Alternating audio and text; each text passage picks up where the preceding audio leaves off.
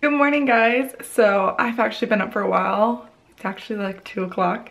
But Lincoln just woke up from her second nap of the day. Hi baby. And uh, so for the past few nights, she has been waking up constantly and not just waking up to get a binky or to eat, but like up, up and up and screaming and just waking up all the time. And during the day, she's never napped for more than like 45 minutes. And so I'm not quite sure what's wrong.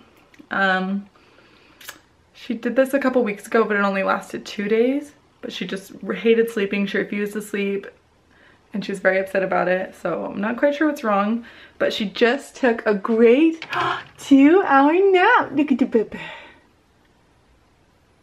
That? Do you see yourself up there? So confused. Anyway, so I'm hoping that it's over because today is the first two hour nap she's taken in.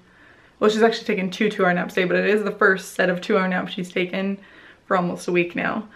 So I hope it's she's feeling better. Whatever was wrong is past. So I don't know if it's teething maybe or if she's got some sort of sore throat or sickness or something. So I've been giving her Orajel and it seems to help. Also, I did give her some Tylenol right before she went down for this nap and she slept for two hours. So I don't really know what's helping and what's not, but anyway. Now we're up for the day, starting the vlog. Hi guys, so I kind of sat down and did a bunch of schoolwork and just um, I had to go through my book and highlight a bunch of crap and it was really annoying because I hate when I'm highlighting something and it doesn't like I'll like be highlighting and then my pen will dip down a little bit and it doesn't cover all the words evenly and it honestly drives me nuts. So highlighting textbooks is probably my least favorite thing in the world.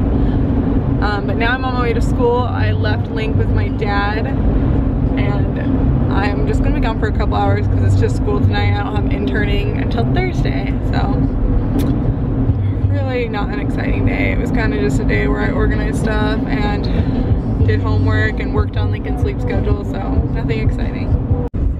Look at that.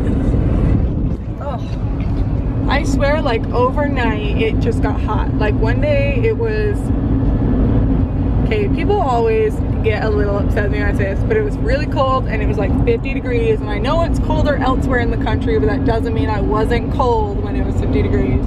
But anyway, and then all of a sudden this weekend rolled around and it was like 70s, mid 70s up. And it's crazy, like it's never like that this early. Well, I guess maybe it is sometimes. I don't know. I just feel like it's really early in the year for it to be like short season but I guess that's what you get for living in the desert. Hey guys, so I just got home and Link was already asleep unfortunately, so I didn't get to really see her.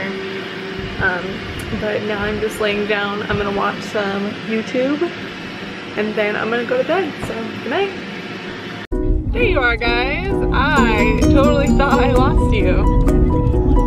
Yanni. Um, I got in the car this morning to go to Freedom Homes again